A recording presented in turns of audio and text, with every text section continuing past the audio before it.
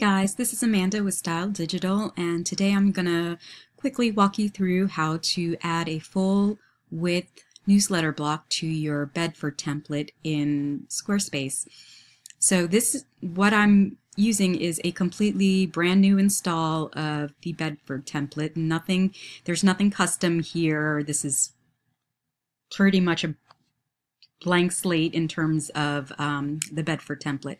So what we're going to do to start off is we're going to add a newsletter block to the pre-footer area.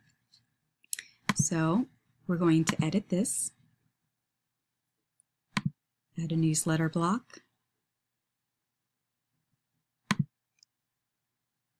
I'm going to delete the title and then for the description we're going to just put let's connect for now but you can use whatever you'd like we're going to delete the disclaimer and we're going to make sure the alignment is set to center and layout is float fields.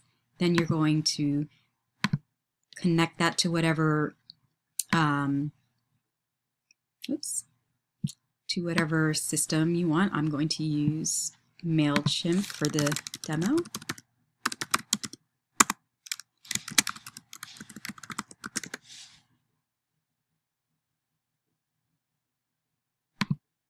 Select my list and apply. Okay, so now that that's done, we're going to want to remove everything else that's in here. Yes, and save. All right, at this point, we're going to add just a little bit of custom CSS to make that area full width. So I'm going to add this, and all this, all these snippets are on my website.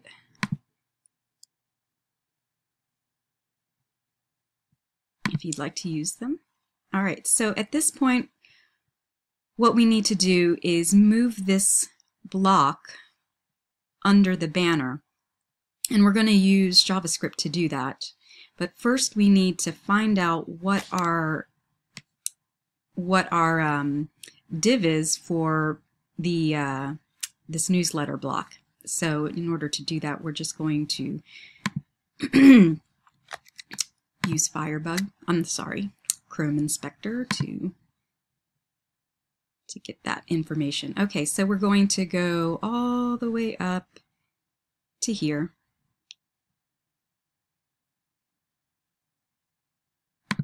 And get this ID. Copy that ID.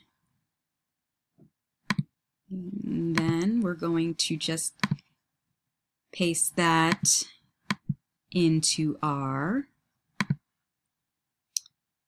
into our JavaScript snippet.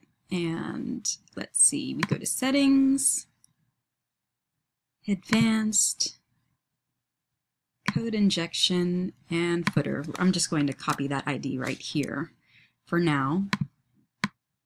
And then we're going to take that snippet that I have on my website and put it in here.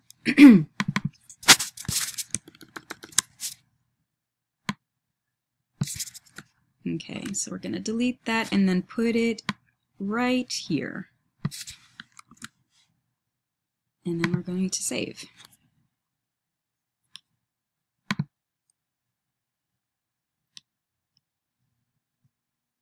All right, so now that we see our newsletter block is right here, but it's not looking so great. So what we're going to do is go to design and go to our style editor and we're just going to go down to the newsletter block and assign it a background color. We'll just do black for now so you can see. And then we can, uh, let's see. Actually, we're just going to leave all that blank. Maybe we can play with the padding a little bit. Okay, so at this point, um, we want to take out this padding right here. I'm sorry, this, yes, this padding, and and make these this text and this text aligned. And we're going to do that by adding more JavaScript. I'm um, sorry, more uh, CSS.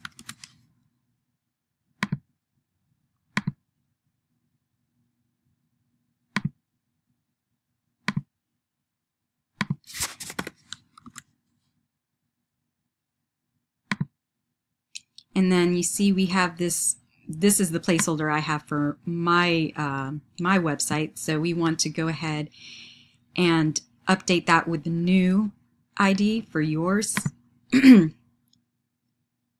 And let's see.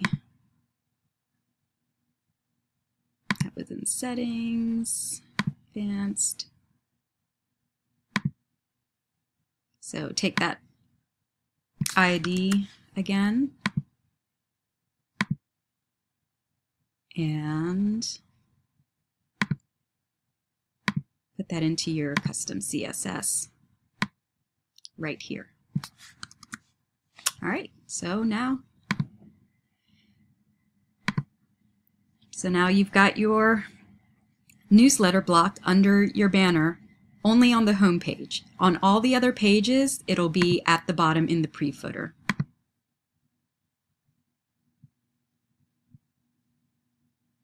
Like so. All right, I hope this has been helpful. And uh, if you have any questions, just shoot me an email at amanda at styleddigital.com. Thanks, guys.